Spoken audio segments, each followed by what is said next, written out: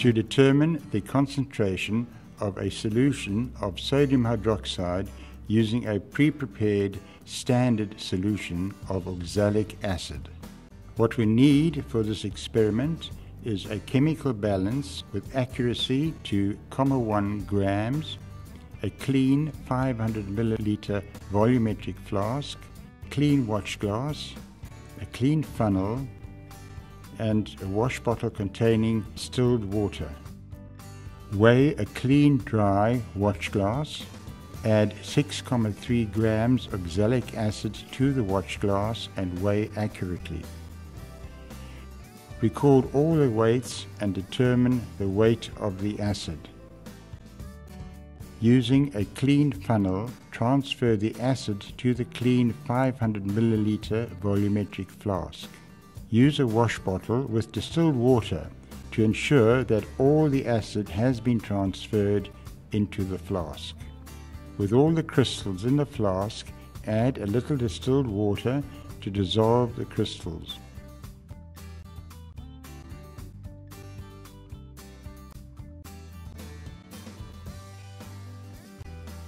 When dissolved, add more distilled water, filling the flask up to the 500 milliliter mark.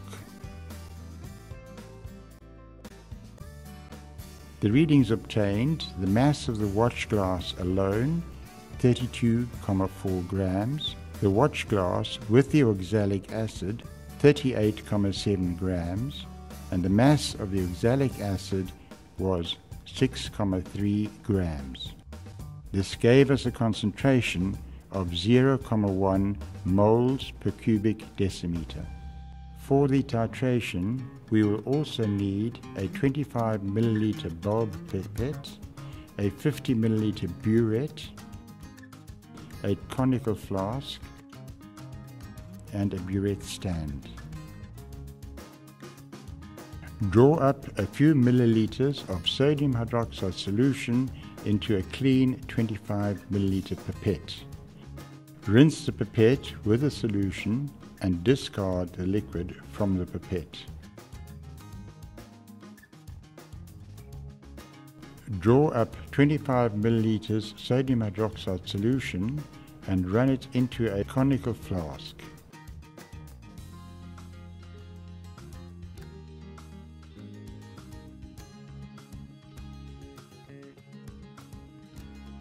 Record the volume of this on a table. To the sodium hydroxide solution, add 4 drops of phenolphthalein. Rinse a 50 milliliter burette with a little of the standard oxalic acid solution. Discard this solution.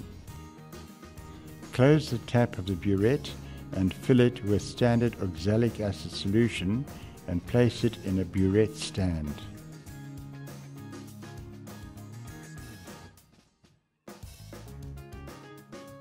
Open the tap of the burette to adjust the air from the lower end of the burette and also to adjust the meniscus of the solution to the top of the burette.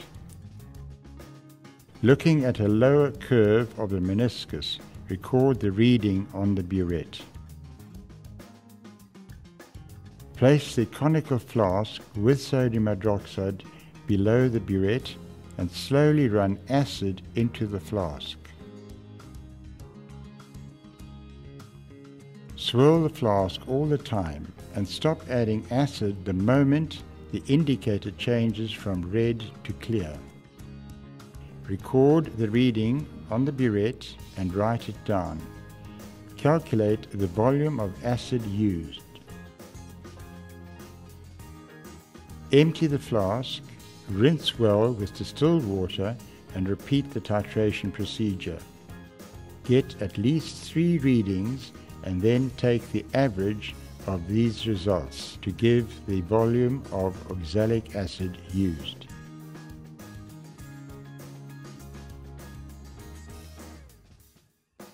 From the results, we can calculate the concentration of the sodium hydroxide solution by using the equation concentration of alkali times volume of alkali divided by the concentration of acid times the volume of acid equals the number of moles of alkali divided by the number of moles of acid.